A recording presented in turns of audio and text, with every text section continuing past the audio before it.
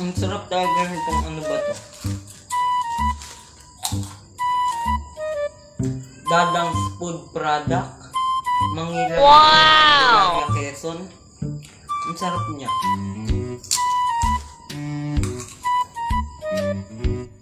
Ay kuya, anong pangalan mo? Ako nga pala si Court, bakit? Wala, ang pangit mo. eh di ikaw na maganda, ikaw na maganda, panalo ka na. Hi kuya, ano nga ulit pangalan mo? Kurt nga, bakit?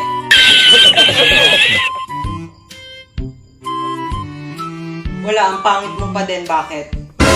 Yan ka na nga.